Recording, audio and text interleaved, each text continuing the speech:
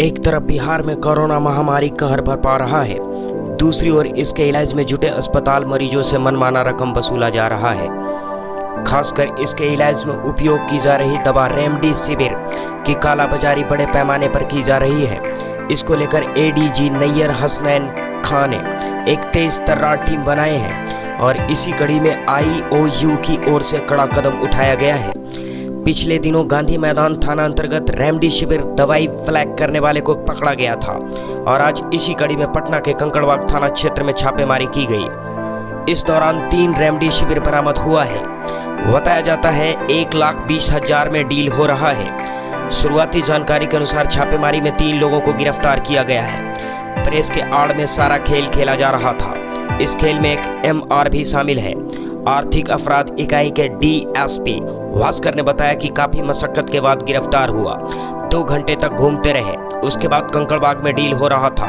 तभी गुप्त सूचना के आधार पर कार्रवाई की गई। इनके अन्य साथियों की छापेमारी जारी है। अन्य पत्रकार फरार है। हम लोगों ने एक ट्रैप किया हुआ था और इसमें कुछ लोग रेमडेसिविर इंजेक्शन की लेन देन कर रहे थे।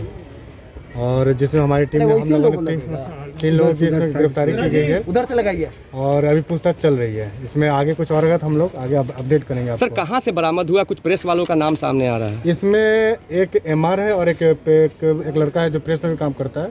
ट्वेंटी फोर न्यूज़ अभी बता रहे हैं। लेकिन उसमें सत्यापन हम लोग वेरीफाई करके भी आप लोग को जानकारी दे देंगे। कौन ये गिरोह है? कितने दिनों से ये लोग काला बाजारी कर रहे थे? और कौन कौन अस्पताल से इनका तार भी जुड़ा हुआ बात सामने आ रही है? क्या कुछ पूछताछ में बताया इन्होंने? ये अभी हम लोग बता नहीं सकते हैं। कितने लोग ये- गिरफ्तारी हुई ये है कि अभी ये इनके पास माइलन का वो था इंजेक्शन। और ये इंजेक्शन पर अभी कुछ दिन पहले ही भी अभी हमारे ड्रग इंस्पेक्टर भी आएँगे बताएँगे किन किन हॉस्पिटल को अलॉट किया गया था। उसके बाद ये जानकारी पूरी तरह मिल जाएगी कि इसमें से लीक कहाँ से हुआ है ये इंजेक्शन।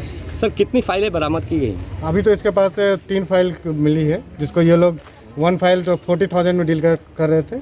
टोटल एक लाख बीस हज़ार का डिमांड था इनका। और इसी में वो ट्रैप हुए हैं। गिरफ्तारी कहाँ से हुई? है गिरफ्तारी इसको हम लोग कंकड़बाग से ही की है और हम लोग इसे कंकड़बाग थाने लेकर आए हैं। कितने लोग हैं कितने लोग तीन लोग हैं। इनके तार भी पीछे भी है। हम लोग अभी इसको जाँच कर रहे हैं। सर प्रेस की आड़ में कहीं अभी इसमें कुछ उतना कुछ नहीं बोल सकते। ये हम लोग भी जाँच कर रहे हैं इसका। कौन थाना में गिरफ्तारी हुआ है? कंकड़बाग थाने अंतर्गत गिरफ्तारी हुई है।